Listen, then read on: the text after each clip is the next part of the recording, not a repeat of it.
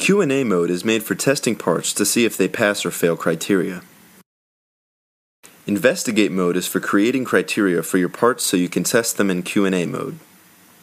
To begin testing in Q&A mode, click the acquisition control to run and test your parts.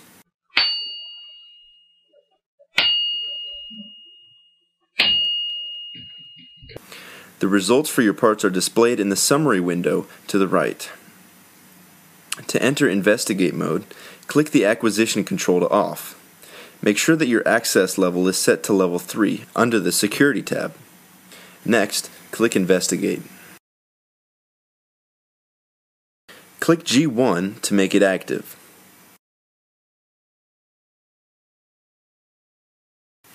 Turn the acquisition control back to run. Test your parts.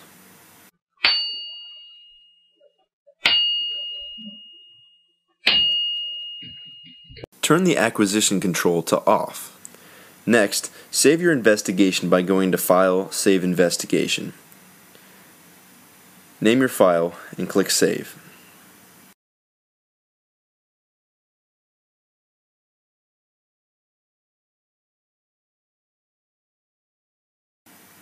To test your parts, switch back to Q&A mode by clicking Q&A.